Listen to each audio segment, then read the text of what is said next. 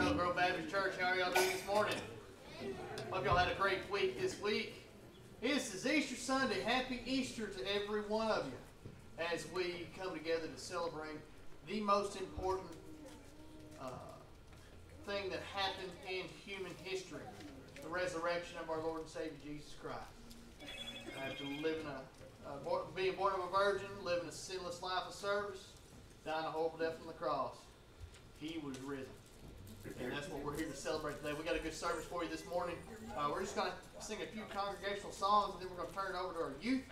Uh, they're going to delight us with several songs this morning. Uh, and then after that, we're going to have Chris come up and sing, sing a special for us as well. So I hope y'all um, are looking forward to it. And then uh, Chris is going to bring an enlightening message to us all. Uh, so be, be a prayer for him uh, this morning. We have business meeting coming up this Wednesday. Uh, we are having it at 6 o'clock. We are not having Wednesday night service. There's a lot of stuff on the table for that, that one, so we're just going to uh, uh, forego our Wednesday night service and start the, start the business meeting at 6. So if you want to be a part of that process, please make every effort to be here uh, if you're a member of Oak Grove Baptist Church. Got a lot of prayer requests coming up. Uh, Chris is going to touch on uh, when he gets up here here in a few minutes. Uh, but as for now, let's go ahead and sing Nothing But the Blood, page 135 in the Baptist hymnal, that beige colored one.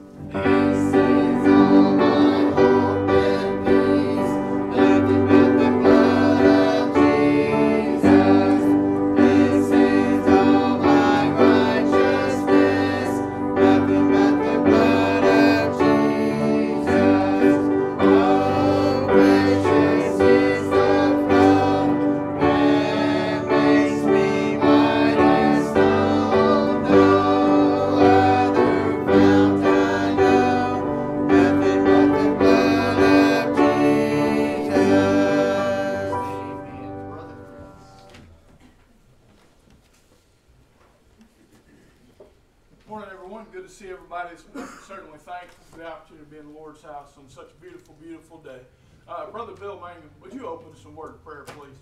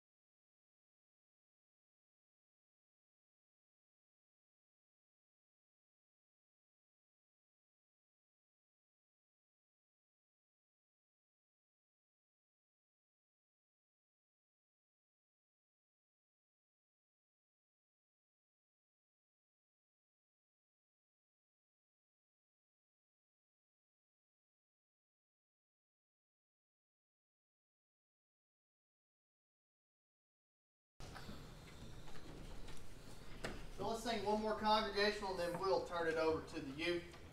Um, I just want to thank uh, thank the Lord for dying for our sins. If it wasn't for that, none of this would be possible. There would be no hope in the world. Uh, let's sing at the cross. That's where it all happened.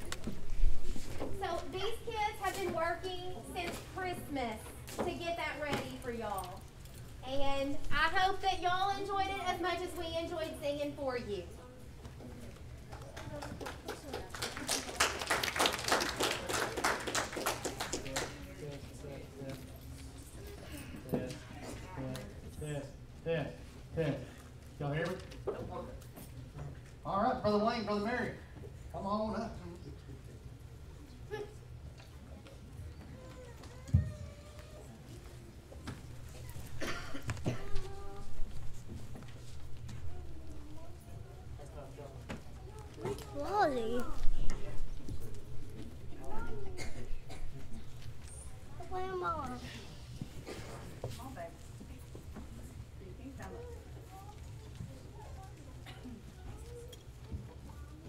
we have some help today.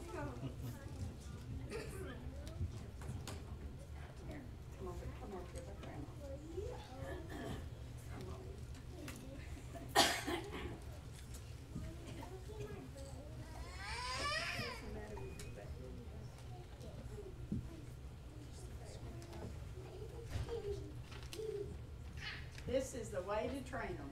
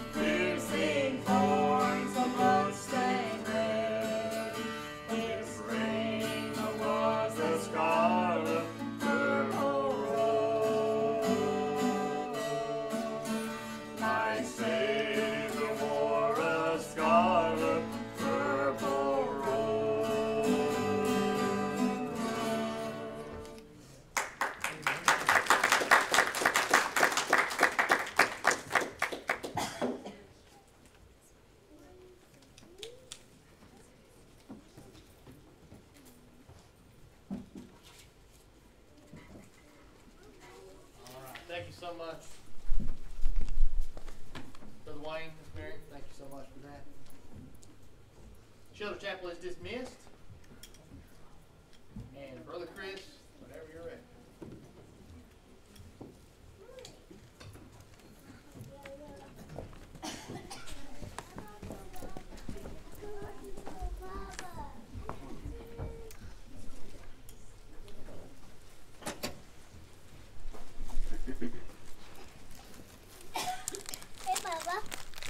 Into you. I walked into you.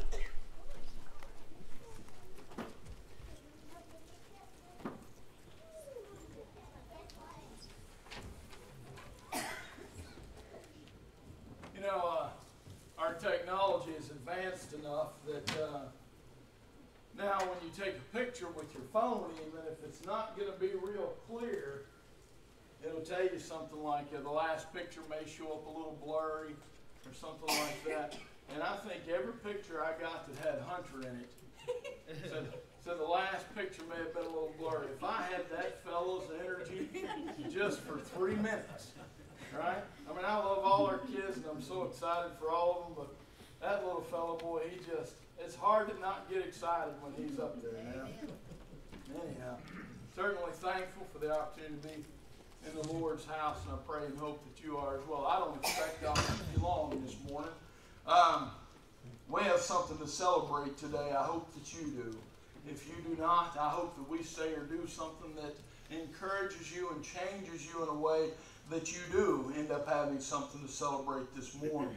And that is we serve a risen Savior. If you want to turn with me to Luke chapter 24, maybe getting some feedback on this microphone. Forgive me if I am. Luke, the 24th chapter. You know, the other day I was watching the news and they were talking about the vaccine and the, uh, the significance of the vaccine. And, you know, and, and one of the doctors or one of the analysts on the news was saying, you know, this is one of the most significant accomplishments in the history of mankind.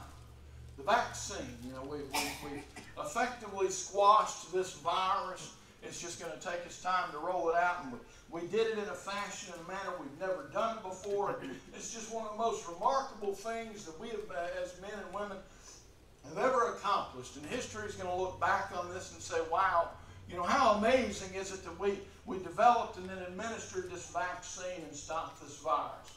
And that's true. It's, it's pretty significant, isn't it? It's pretty amazing uh, what we've done with regard to the coronavirus. Uh, there's a really, really a miraculous story in the Bible, and that's the, uh, the, uh, uh, the conception of Jesus Christ, the immaculate conception of Him, right? And, and what an amazing story that is. Um, Jesus lived a sinless life. What an amazing story that is. The opportunities that He could have had uh, to sin and to do what we do, but He didn't. And, and what an amazing story that is. Maybe the most amazing story in your life is the day you were saved. The most amazing story in your life is the day your grandchildren were born or your children were, bo- were born. Maybe it was the day that you got married, right? Significant, very significant. But I'm standing here to tell you this morning there is no more significant event in the history of mankind than the day Jesus walked out of that grave. All right, there's there's nothing else. There's and forgive me for getting emotional, but it's boy, it's hard to talk about without getting excited. It's hard to talk about without being humbled by it. Right? Is it not coincidental that how many Easter's do we have where it's just boy, it's a beautiful day, isn't it? And I imagine it was a beautiful day that morning. Luke chapter 24, starting in the first verse, it says, Now upon the first day of the week, very early in the morning, they came unto the sepulchre, bringing the spices which they had prepared, and certain others with them. And they found the stone rolled away from the sepulchre. And they entered in and found not the body of the Lord Jesus. And it came to pass, as they were much perplexed thereabout, behold, two men stood by them in shining garments.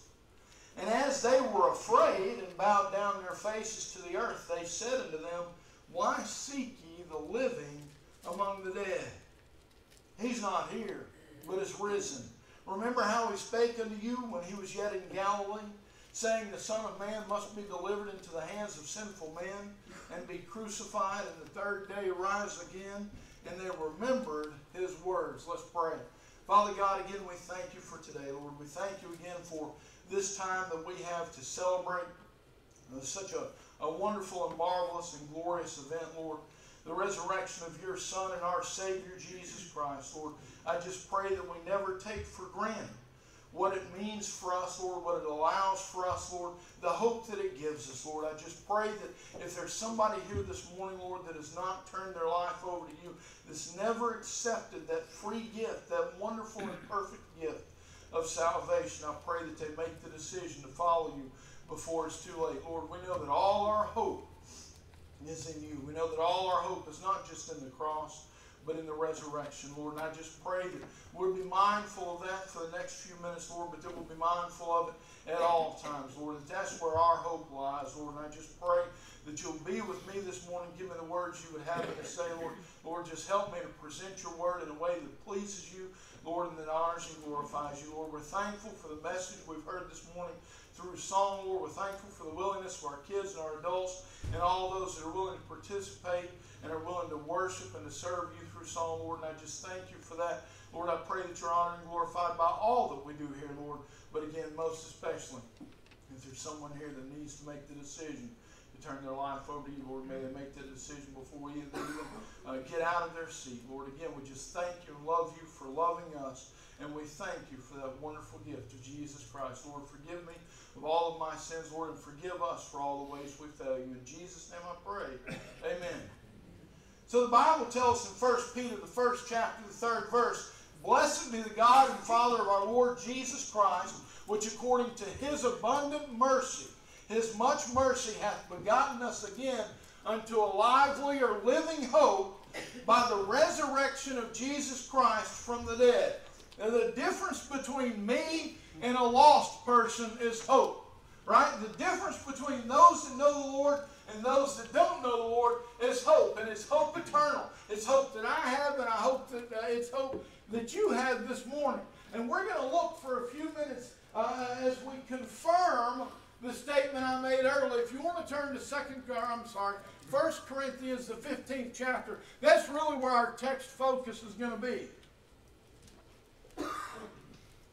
I know we read that, uh, that, that, that verse, that passage there that lays the foundation for us. You know, when they went to see him, they went to treat the body, they went to uh, uh, uh, acknowledge uh, him still being in the grave. He wasn't there. He wasn't there, and the angels, the messengers there were like, Why are you shocked? He told you he wasn't going to be here. Right? He told you that when you came back, he wasn't going to be here. The disciples, the Bible tells us in John, ran to look at that tomb, to look at that grave area. And guess what? He wasn't there. Why? Because he said he wasn't going to be there. The God that saved my soul is the God that wasn't in the grave that morning. 1 Corinthians, the 15th chapter. Let's look for a few minutes. Confirmation of the hope we have in the resurrection. I'm telling you, folks, everything else is great. Even him dying on the cross would have been insignificant or valueless if he had, he had not raised again that third day. He would just be a man in a grave, wouldn't he? He would be a man in a grave, but he's not a man in a grave. He's our Lord and Savior. He's our salvation. He is our hope, a lively hope. 1 Corinthians chapter 15, starting in verse 12. It says, Now if Christ be preached that he rose from the dead, how say some among you that there is no resurrection of the dead? Now notice it doesn't say how some of you, how say some of you that Jesus isn't raised, but there was clearly uh, a teaching around at that time that there was no resurrection of the dead. The Bible tells us that the Sadducees which were a sect of religious people, absolutely believed in no resurrection. We know, according to the book of Acts, that in Athens it was being taught that there was no resurrection. And so maybe there's a, a, a, a connection there because of how close Corinth was to Athens. Maybe that's why it was being taught in this church and in this area. But all we know for sure is that there was being taught, at least by some of them, that there was no resurrection of the dead. But then in verse 13 it says, But if there be no resurrection of, dead, of the dead, then is Christ not risen. If there be no resurrection of the dead, then is Christ not risen. Understand, first of all, Calvin has a lot to say too. Uh, but understand that these, these clauses here, these if statements here, are, are, are Paul's kind of uh, way of arguing, if you will. In other words, he'll state something that, he's, that is not true. All right? If there's no resurrection of the dead, then is Christ not risen? And he'll state it and he'll say in such a way that it'll be like, you know, you say there's no resurrection of the dead. Let's assume that's true. Okay? For the sake of argument, let's assume that there's no resurrection of the dead. Well, if there's no resurrection of the dead, guess what? There's no resurrection of Jesus Christ. Right? We don't know if that was contended or not, but we do know this. They were arguing that there was no resurrection of the dead, and Paul says, okay, let's assume that that's true. And if it's true, then there's no resurrection of Jesus Christ. Well, all my hope is in Jesus. Right? All my hope is in Jesus. All your hope is in Jesus. Verse 14 then says, And if Christ be not risen. Now, again, it's a statement, but that, that's not true. But Paul's argument pretty much is let's assume that it is.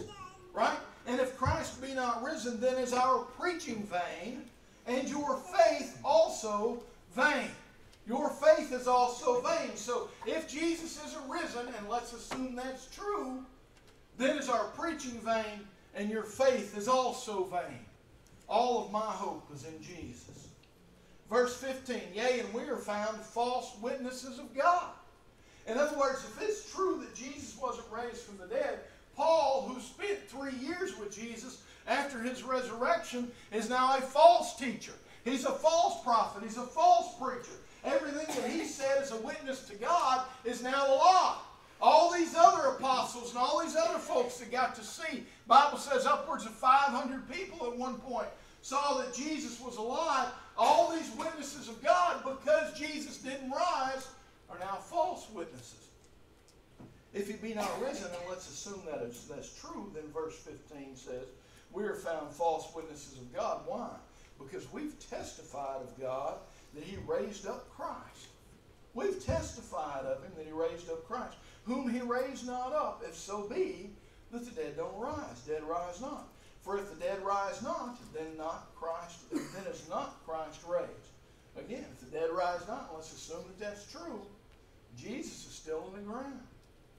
Verse 17, if Christ be not raised, your faith is in vain. Again, I'm I'm not going to keep saying it. But again, these are statements that Paul knows to be obviously false, but for the sake of argument, let's say that they're true. Right? And so he says, and if Christ be not raised, your faith is in vain. And guess what? And this is how we know the significance of what Jesus Christ did for, us. Ye are yet in your sins. Ye are yet in your sins. If we don't have Jesus, and if Jesus didn't die on the cross, and if Jesus wasn't buried, and Jesus didn't raise again that third day, we have no hope. We have no hope. It all begins and ends with that resurrection. Everybody on earth has died, right? A lot of people on earth have been buried. But Jesus Christ raised himself from the dead through God, or God raised him through, you know, he raised himself through God. But the thing about it is, Jesus overcame death. He overcame sin. He overcame the grave. He was victorious over death, right? And because of that, we can be victorious over death. And so to assume at that point, which is what they were doing, that there was no resurrection of dead, meant that there was no resurrection of Jesus. And all our hope is in that. All of our hope is in that. The difference between us and lost people is hope. And we have hope because of what he did. He is victorious. Ye are yet in your sins. Everything we've ever believed, right? This is what he's saying. Everything you've ever believed, everything you've ever been taught, everything you've ever practiced is false if indeed Jesus is still in the grave. Verse 18, I like the way he puts this. Actually, I want to read, uh, well, actually, yeah, read verse 18 first. It says, Then they also which are fallen asleep in Christ are perished. There's a reason the Bible uses the word sleep or asleep or slumber because it's temporary. For a Christian, that sleep is temporary. Death is not eternal, right? It's momentary. And Paul teaches that numerous times in the letters that he writes. And so he even almost kind of backhandedly says, all these people that we've preached and that we've taught to be asleep in Christ to be momentarily uh, uh, out because they're set to be resurrected at some point. Well, now they're they're they're eternally perished, right? If they which then they also which are fallen asleep in Christ are perished. John's uh, chapter 11 tells us when uh, Jesus goes to see Mary and Martha after Lazarus has died, Jesus said unto her, I'm the resurrection and the life. He that believeth in me, though he were dead, yet, he'll, yet shall he live. And whosoever liveth and believeth in me shall never die. Believest thou this? Very simple, very logical argument Paul is making here, right? Very logical argument. If there's no resurrection of Jesus, then your faith is in vain, preaching is in vain, we're false witnesses of God, and all those people that died with hope have no hope. All those Old Testament saints, all the people that have died up to this point, all those that, Stephen even, you know, the others that we see martyred in the New Testament, that had died at this point with hope, now have no hope because you're telling me Jesus Christ is not raised. Verse 19, this is such a great verse. He says, If in this life only we have hope in Christ. We are of all men most miserable. Miserable there probably translates just as well pitiable. You should feel sorry for us. Why? Because we've hung our hat on the resurrection of Jesus Christ. Again, you go back even just a few verses. Verse 8, it says, And last of all, he was seen of me also as of one born out of due time. So everything that Paul believed hinged on the resurrected Lord, right? The resurrected Savior. Everything he believed on him, everything that he taught, everything that he showed by example, all of that hinged on that. Look at the persecution Paul faced. Imagine going through life, getting beaten, and stoned, and running for most of your uh, converted life because the Jews are after you, and then come to find out it's not real. Right? Come to find out that we are, and more than, you know what? We're worse. We're worse off than somebody that doesn't know the Lord in the first place. Somebody that doesn't know the Lord in the first place doesn't lose anything. But if we have Jesus and then we lose Jesus, we're of all men most miserable. Paul makes a pretty uh, plain statement there, right? If in this life only, if this is the best it is, if this is the best we've got, if our acknowledgement of Christ here is as far as it goes, we're of all men most miserable. But then notice what he says, his counterpoint in verse 20. Because Paul, again, this was for the sake of argument. Paul liked to do the for the sake of argument thing. Right? You can see it in, in numerous passages. For the sake of argument, let's say that this is true, but I'm going to tell you it's not. I'm going to tell you it's not. And whether it's the church of Corinth, whether it's the church of Galatia, we see this quite frequently. You, you say this is true or you think this is true. Well, let's say for the sake of argument it is, but I'm going to tell you it's not. I know y'all, and I know y'all want to know this, that y'all know that we serve a risen Savior, right? Amen is exactly right. And what verse 20 says, But now is Christ risen from the dead. See, Paul doesn't give it any more credence, any more, uh, uh, uh, he doesn't support that argument anymore. Now is Christ risen from the dead and become the first fruits of them that slept. He is the acceptable offering. And because of that, the rest of the offering, which is us, is now available. First fruits, some people look at it as the first.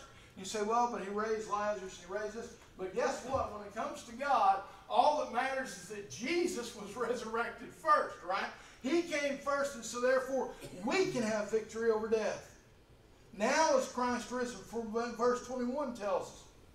For since by man came death, as explained in Romans 5:12, which says, Wherefore, as by one man's sin entered into the world, and death by sin, and so death passed upon all men, for that all have sinned. If you are alive, you are a sinner. And if you are a sinner, you need a Savior, and that Savior is Jesus Christ. It says in verse 21, For since by man came death, by man also, by man Adam, and then by man also Jesus Christ, the man in the flesh, came the resurrection of the dead. For as in Adam all die, even in Christ, even so in Christ, shall all be made alive. Read that again. For as in Adam all died, because Adam brought sin into the world and condemned us all to death because of sin. Hold on. Paul's also given me too. For as in Adam all died, even so in Christ shall all be made alive. All my hope is in Jesus. All my hope is in Jesus. And I pray that your hope is in Jesus Christ. You know, when we sit here in church on Easter Sunday, sometimes I think we sit here and it's just another day. Or sometimes we sit here and it's an important day because we've got the flowers and it's an important day because we have an egg hunter. It's an important day because we're going to go see family. We're going to go see family. Y'all going to go see family? Right? It's Easter. It's a big deal. Well, guess what? You know, I've told you all this before. When we say Jesus is the reason for the season, I think that's a, a, a mistake because Jesus is just the reason. Right? He's not the reason for the season. He's the reason. Jesus is the reason that I'm here, that you're here, and that we're all here. Jesus is the reason that we have hope eternal. Jesus is the reason, the hope that we have because of what he did for us. Not in dying on the cross for us, not in uh, leading captivity captive and going through the process he did for three days. The reason he's the reason and the hope is because of what he was able to overcome, which was death in the grave. He was able to overcome something that none of us ever could on our own. But he loves us so much that he died for us. And he loves us so much that he was, didn't just die for us, he was victorious for us. All my hope is in Jesus. 1 Thessalonians chapter 4 tells us, starting in verse 13, But I would not have you to be ignorant, brethren, concerning them which are asleep, that ye sorrow not, even as others which have no hope. For if we believe that Jesus died and rose again, which I hope you do, and I hope you don't just believe it because you've always heard it or because you've watched a movie about it. I hope you believe it because it's in here. If you're sitting here this morning and it's not in here, if you're sitting here this morning and you don't understand why we're celebrating such a wonderful and beautiful and awesome day, right? Then I pray and hope that you come to know the Lord as your Savior because you don't have Him. You don't have Him, but you can. You can have Him. All it takes is accepting who He is, which is your Savior, someone that died for you, that paid the price for you, that paid the penalty for your sins because you were inadequate. Guess what? If I died today, a hundred thousand years from now, you're still going to probably find my body, unless the Lord returns. You're going to find my body in a grave, right? But we can dig up the entire Middle East and all the world, and we're never going to find his body. Why? Because he's not there. He's not there. And we have that to celebrate.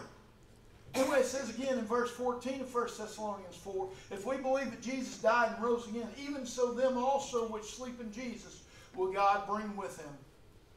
For this we say unto you by the word of the Lord, that we which are alive and remain unto the coming of the Lord shall not prevent them which are asleep. For the Lord himself shall descend from heaven with a shout, with the voice of the archangel, and with the trump of God. And the dead in Christ shall rise first. Then we which are alive and remain shall be caught up together with them in the clouds to meet the Lord in the air, and so shall we ever be with the Lord. You can't meet a Lord that's still in the ground, right? You just can't. So we which are alive and remain shall be caught up together with them in the clouds to meet the Lord in the air, and so shall we ever be with the Lord. And why did Paul tell us that? Wherefore, comfort one another with these words. What great words, right?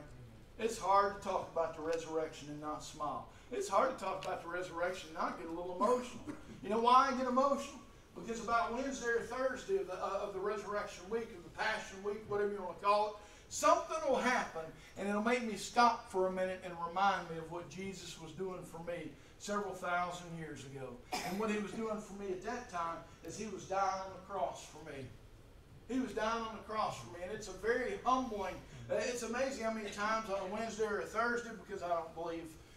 Anyway, I'm not going to get into Good Friday, but let's put it this way: I don't believe that he was crucified that day. I'll just say that. But anyway, but the thing about it is, we do know that he was crucified before he was resurrected, right? And so invariably, something will happen, or the day will be somber, or the day will be sad, and it'll just strike me all of a sudden. Wait, now I go all the way around the world at this time of day, and what was Jesus doing for me? He was dying for me. But then we get up on Sunday morning, it sure is an exciting day because as we celebrate, right? We don't know this was the exact anniversary of his resurrection, but we celebrate that that day he did get up. Right? That day when they went to that grave, he wasn't there. That day when they went to, to, to see him and to service the body and to do whatever they needed to do, he wasn't there. The stone was rolled away, the Bible tells us, and they were able to celebrate a victorious Lord and Savior. It's, it's hard not to get excited, isn't it? It's hard not to get excited about that. Wherefore, comfort one another with these words. All my hope is in Jesus. That song's been going through my head, so I'd like to share the chorus with you this morning. Song by Crowder. It says, All my hope is in Jesus. Thank God that, yesterday or my yesterday is gone. Yes, all my sins are forgiven. I've been washed by the blood. Question is, have you been washed by the blood of the Lamb? You have because Jesus has died for you already. He's died for every single person that ever has been and ever will be. The question is, accepted him as your personal Savior? Have you turned your life over to him? Do you sit here this morning celebrating a risen Savior? Or you do, sit, do you sit here this morning not waiting till you can get to fellowship this afternoon with your family? Because all that's secondary. Nothing we will ever do in this life, nothing we will ever see in this life will compare to a resurrected Lord. Nothing, nothing will ever compare to that. Because without that, there's no hope. And all my hope is in Him. My prayer is this morning that you know Jesus Christ is your Savior. That you're sitting here this morning confident and happy and smiling because you also are celebrating a risen Savior. Let's assume that He's risen. No, we don't have to assume that. We know that that's true. The Bible records it over and over again. We know that He's a risen Savior. And that right now He sits at the right hand of the Father, sitting and making intercession for us. But guess what? He's going to come back for us. We have that to look forward to. Whether we're dead or whether we're alive, He's coming back. And He's going to reign eternally as King of Kings and Lord of Lords. I would have it no other way than to have my Savior be right here and me way down here. Right? And my prayer is that you know Jesus Christ. If you don't, turn your life over to Him today. If He's burdening you, if the Holy Spirit's burdening you or convicting you this morning, if you've got a decision to make, make that decision. I pray and hope that you know the Lord as your Savior. I pray every one of you I'm going to see in heaven. But I don't know that. I don't know that. So my prayer is that you make that decision if God's leading you to make that decision. But then if you have made that decision, understand that celebrating the resurrection isn't something we should do just on Easter. Every day. Every day we should be reminded of the hope that we have. Just the, the times I've heard this morning in Sunday school and in song service, people using the word hope. We need to be mindful of that at all times, that we have hope because we have Him. Do you have Him this morning? Let's stand. We're going to have a verse of invitation for a musician to come forward.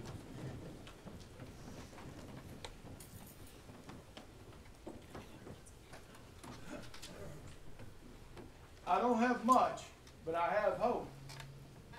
Right? And you may not have much, but if you have Jesus, you have hope. And that's all you need to get into heaven is Jesus Christ and that hope that we have through Him. Maybe you're sitting here this morning and you're not sure you have hope. If God's dealing with you, respond to that. Maybe you're sitting here this morning and the world's gotten in your way and you've forgotten how much that hope means to you. You've gotten distracted by the world or your job or your lives or your family or whatever. Let's take this moment to reflect on what Jesus did for us. Not just in dying for us, just not uh, in, in paying the price for us and taking the beatings and, and going through the abuse and the mockery. Let's be mindful that that third day he walked out. Nothing was going to stop him, and nothing did. And because of that, we have eternal hope and eternal security in Jesus Christ our Savior. As we sing this morning. Whatever God's leading you to do, I encourage you to respond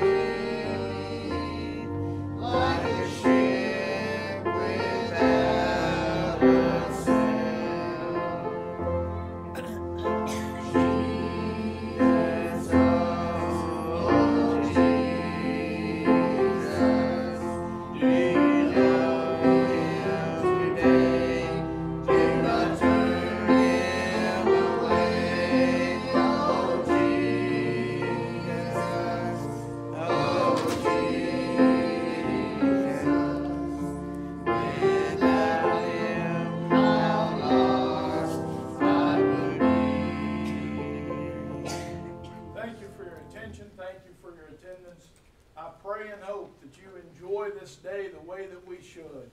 Uh, like I said, it all starts and ends right here with the resurrection of our Lord and Savior.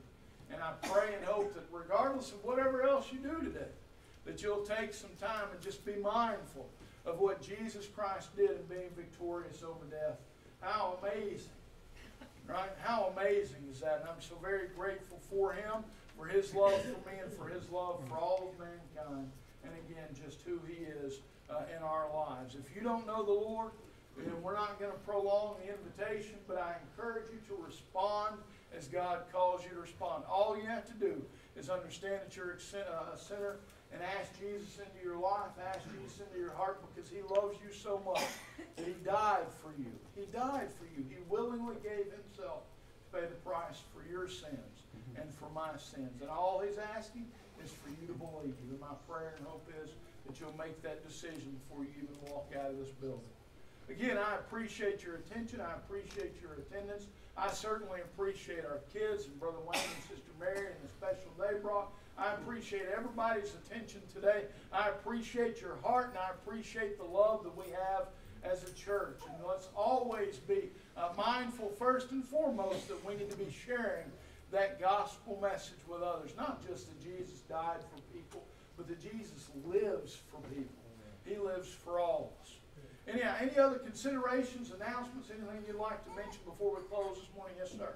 One thing we've been forgetting because of what all is going on, men's fishing trip is this coming week, Thursday, Friday, and Saturday at Oak Bar on Lake DeGray. Oh, wow. All right, yeah, I think, uh, I didn't know that. I didn't figure. You see me at Walmart right now buying something. Some kind of, now, y'all know me, I lose lures, right? And I'd have to take the baby with me and I'd probably lose the baby. So, anyway, Especially when we came down to a fish or the baby, I'd be like, just hold it. Anyway, so something like that. Anyway, all right, well, all right, so I guess we're having a fishing trip, it sounds like, this, this week? Not Yeah, pretty soon. Thursday, Friday, and Saturday morning. Okay. All right, any other announcements, other considerations, maybe other prayer requests that you've thought of since we started our service? Well, again, it's good to see all of y'all. Certainly thankful for all those that are visiting with us. I pray and hope you got something out of the message this morning, out of the service this morning. And uh, most importantly, I pray that we honor and glorify God by all that we do here, and I'm confident that we do. If there's no other considerations, no other announcements, again, just always keep me and my family in your prayers, keep each other.